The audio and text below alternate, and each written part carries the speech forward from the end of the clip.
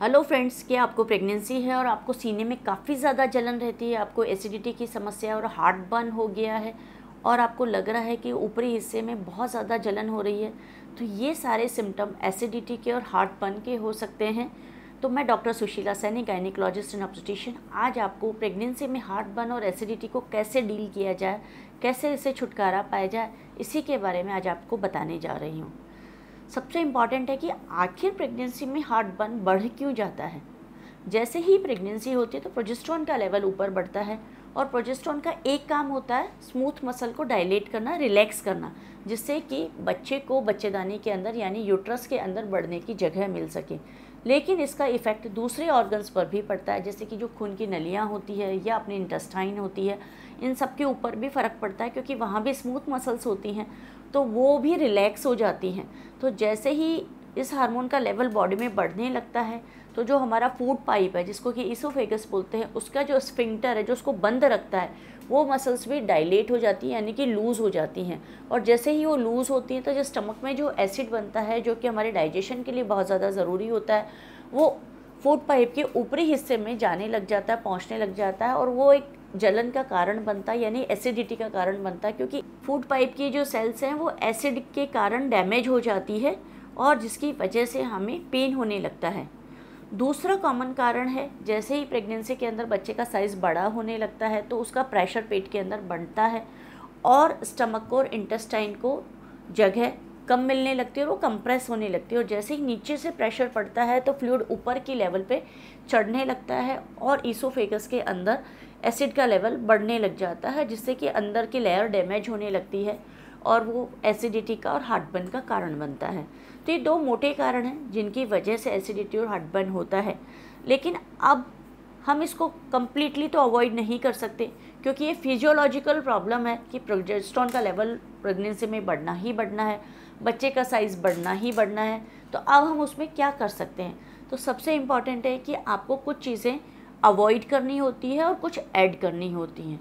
तो जो अवॉइड करनी है तो आप खाली पेट चाय और कॉफ़ी बिल्कुल अवॉइड कीजिए। अगर आप चाय कॉफ़ी पीते हैं तो साथ में बिस्किट टोस्ट मठरी या कोई भी सॉलिड चीज़ आप ज़रूर ले लीजिए, ताकि इनका जो एसिडिफाइंग इफ़ेक्ट है, वो थोड़ा नलीफाई हो जाए।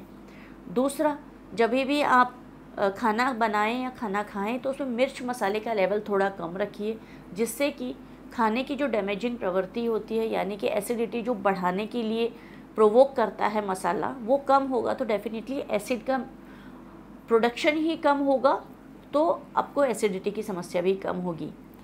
तीसरा, आप कर सकते हैं कि आप आइसक्रीम और छाछ और दही जैसी चीज़ें ज़्यादा ले सकते हैं। केला आप अपने खाने में ऐड कर सकते हैं, जिससे कि ये थोड़ा सा हीलिंग इफ़ेक्ट देते हैं।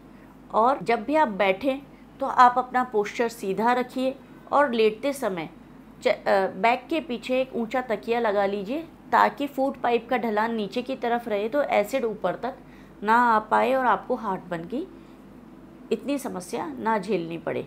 जो चीज़ें हमें ऐड करनी है, वो आइसक्रीम है, दही है, छाछ है इसके अलावा ठंडी चीज़ें हैं, नारियल पानी है और बहुत सारा सिंपल पानी है।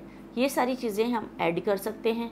इसके साथ ही साथ यदि लगता है कि खाने पीने की चीज़ों को अवॉइड करने से और एडिशन करने से भी हमें बेनिफिट नहीं हो रहा है तो जो एंटासिड गोलियाँ आती हैं, वो आप ऐड कर सकते हैं, जो सुबह सुबह खाली पेट लेनी होती है।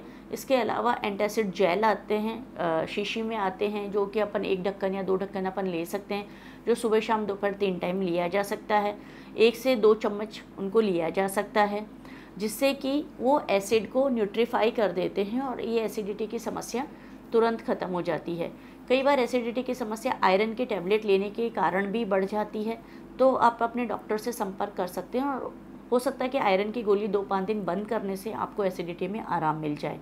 इसके साथ ही साथ कई बार और कोई गोली दवाई चल रही होती है जो हमें सूट नहीं कर रही होती तो उसकी वजह से भी एसिडिटी की समस्या हो सकती है। तो डॉक्टर से इस प्रॉब्लम को डिस्कस करने से आपको काफ़ी हद तक इसका सल्यूशन मिल सकता है। और यदि आपके इससे रिलेटेड और भी कोई सवाल हैं तो आप हमें कमेंट बॉक्स में लिख के पूछ सकती हैं। और एसिडिटी एक कॉमन समस्या है। डेफिनेटली इसको डील किया जा सकता है। इसके लिए इतना चिंता करने की या घबराने की बात नहीं होती है। और डॉक्टर के सहयोग से इसकी मेडिसिन लेकर आप इसको आराम से हैंडल कर सकती हैं।